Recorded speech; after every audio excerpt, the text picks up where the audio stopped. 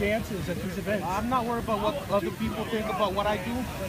I know what I'm doing is right, and I will doing what I'm doing. And standing up for free speech, inside, I know it's right. It's the right thing. You know, standing up for, for people's like right, it's the right thing. So um, doing the war dance, you know, in my culture, I'm allowed to.